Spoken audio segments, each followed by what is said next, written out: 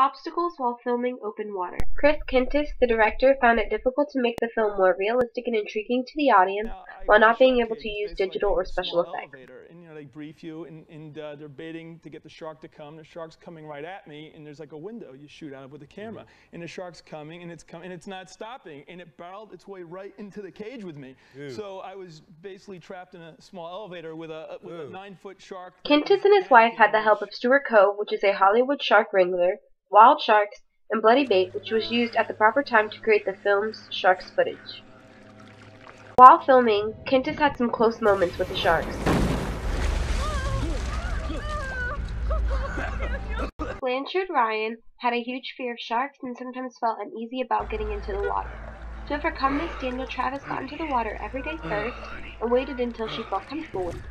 The director needed the audience to believe the fear of the actors and he wanted there to be real sharks in the scene, so he fed the sharks tuna to get the real feeling of the main characters being in the ocean together with the sharks.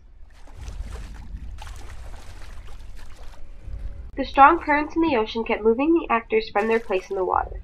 It was difficult to film when the actors were drifting off.